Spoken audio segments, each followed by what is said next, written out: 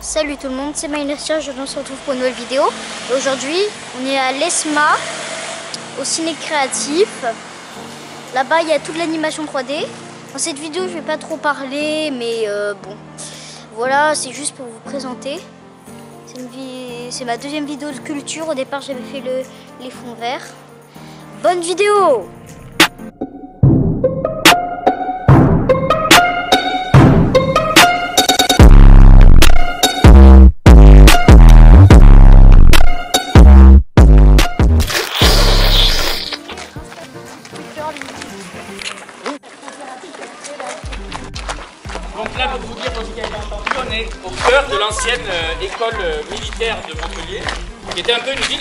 c'est très grand.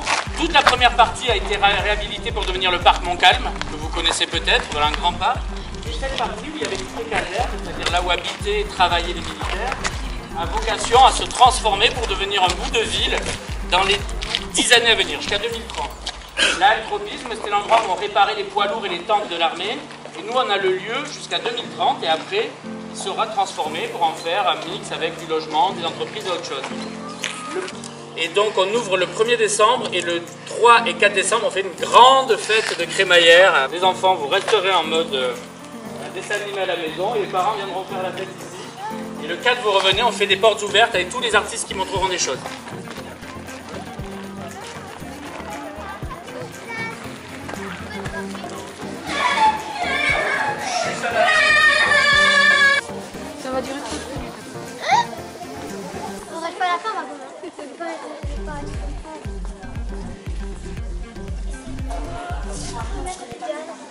C'est la directrice, directrice pédagogique, euh, oui, voilà, Chef d'établissement. voilà, chef d'établissement de l'ESMA. Voilà. Euh, Montpellier, euh, qui est donc la maison mère, on va bientôt fêter nos 30 ans euh, d'installation euh, à Montpellier.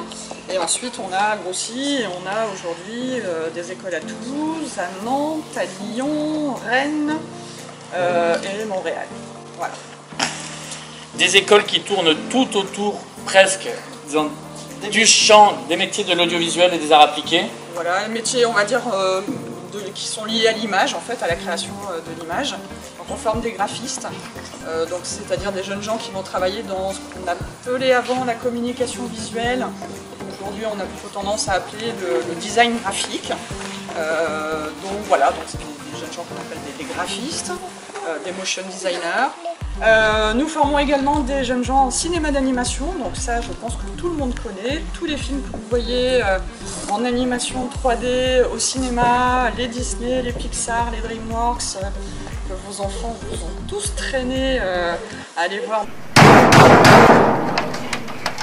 Notamment sur, euh, sur les périodes de Noël, mais pas que, parce qu'aujourd'hui on en a des quantités toute l'année qui sortent au cinéma. Voilà, donc nous formons les jeunes gens qui fabriquent ces, euh, ces, euh, ces dessins animés. On peut dire aujourd'hui qu'il n'y a pas, il y a pas un, un grand dessin animé qu'on connaît tous, de affreux, euh, moche et méchant.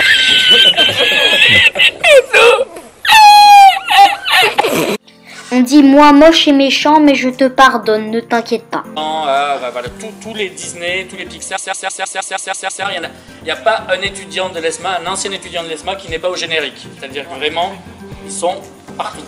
Là au-dessus. Ouais, on va aller voir. Bah, on va aller voir. Alors, allez, allons voir. Alors.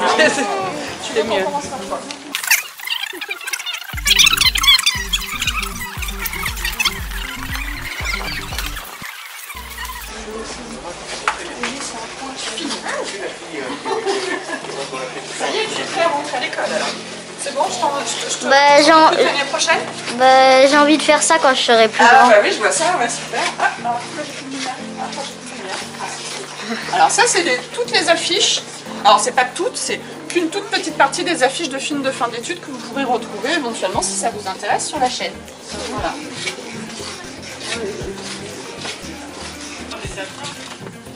Wow.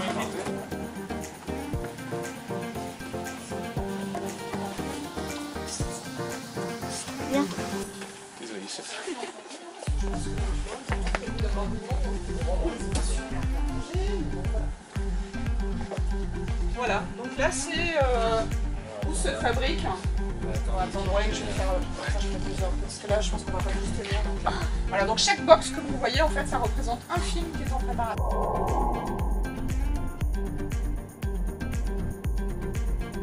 Cette année, ici à Montpellier, j'en ai 9 en préparation. En sachant que ce sont des films euh, qui durent 5 à 7 minutes en fonction. Et les jours qui doublent Morgan Freeman, euh, euh, Stallone, enfin voilà. Donc ils font tout de A à Z. Donc c'est un travail colossal. Et c'est leur, c'est leur carte de visite pour entrer dans le monde exactement- professionnel. Voilà, ils n'ont pas besoin d'un diplôme hein, en réalité. Euh, le diplôme, en fait, il y a très peu de gens qui nous le demandent. Ce qu'ils appellent leur bande démo, c'est-à-dire leur film, plus tout ce qu'ils ont fait spécifiquement chacun d'entre eux sur le film pour montrer vraiment les compétences qu'ils ont acquis- acquises et que du coup ils peuvent démontrer euh, pour aller travailler. Je dirais le lendemain du jury, moi j'en ai qui sont, déjà embauchés et qui partent tout de suite. C'est-à-dire que moi ils viennent, ils prennent, ils présentent leur, euh, euh, film, on fait la fête le soir et le lendemain euh, ils font leur job fair, ce qu'on appelle le job fair, c'est-à-dire on a des 50 studios qui viennent recruter et il y en a qui sont déjà recrutés, donc eux ils partent déjà sur leur première embauche.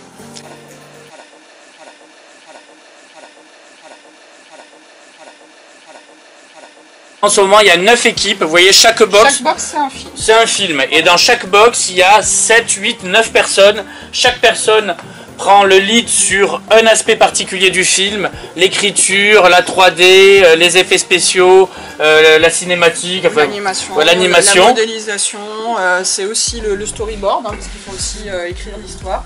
Enfin, il y a beaucoup, beaucoup de- d'étapes. hein. Là, après, ça fait vraiment l'objet d'une euh, d'une conférence à part entière, si on peut vraiment vous expliquer euh, toutes les différentes étapes de construction d'un film d'animation. Mais voilà, en fait, sachez que c'est 14 mois pour euh, 8 étudiants pour fabriquer 5-6 minutes de film. Oh my god! Voilà.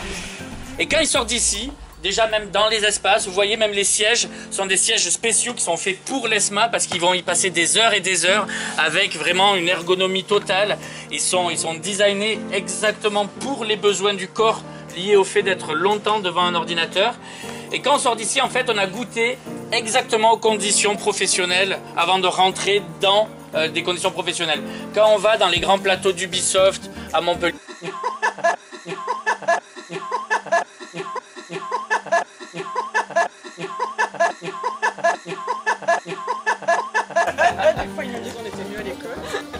c'est très très beau. Mais si tu vas voir, ils sont vraiment super à regarder en famille. hein. Ils sont courts, mais tu vois, ils sont tous gratuits sur YouTube, sur la chaîne de l'ESMA. Ouais, allez vous abonner à la chaîne de l'ESMA, je vous mets le lien dans la description. Mais c'est un niveau incroyable. Il y en a plein de ces films qui sont que des films d'étudiants et qui partent en concours dans le monde et qui ont. Il y en a qui ont eu des Oscars de l'animation, des, des grands prix internationaux, alors que ce sont des films étudiants.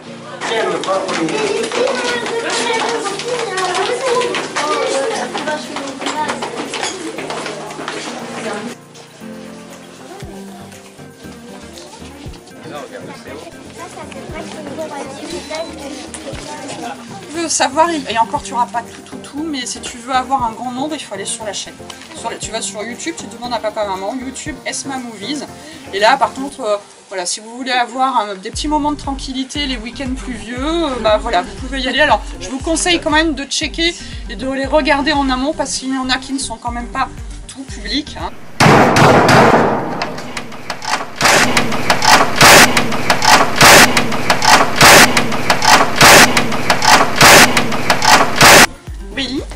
Euh, Est-ce qu'il n'y a que le métier animation 3D ou, ou euh, ça, ou il y a aussi le métier réalisateur, euh, acteur? On va aller. Alors, acteur, non.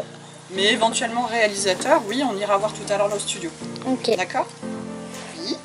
Euh, Est-ce que euh, l'ESMA, enfin ce bâtiment-là, va s'agrandir encore plus avec euh, les constructions autour et et il y aura d'autres bâtiments justement Et tu tapes dans le mille, exactement. Oh my god!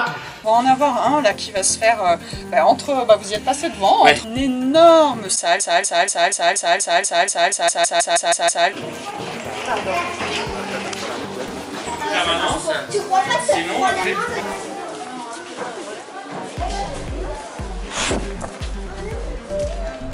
Allez, on saute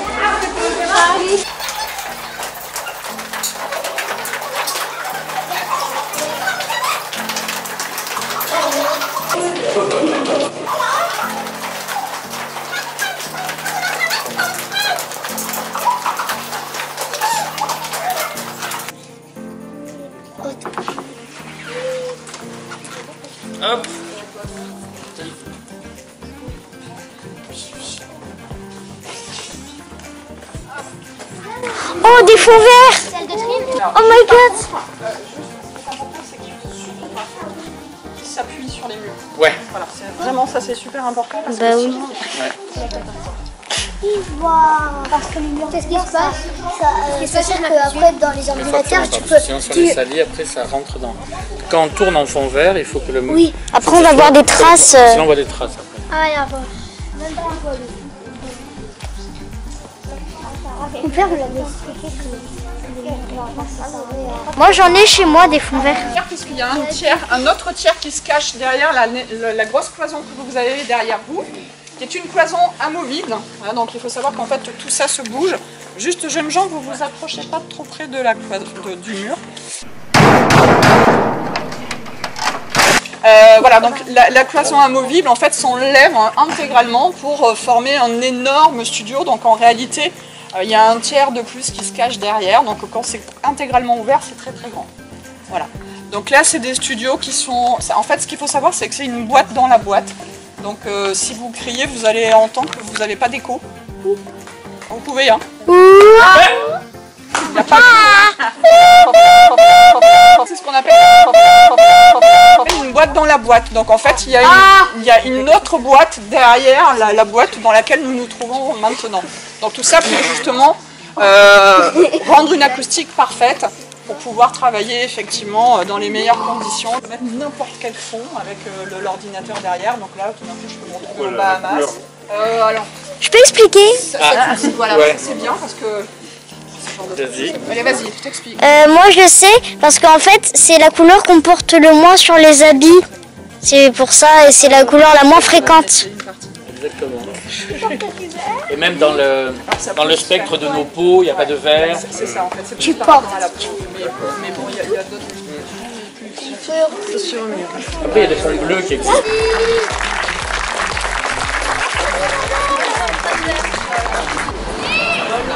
Ah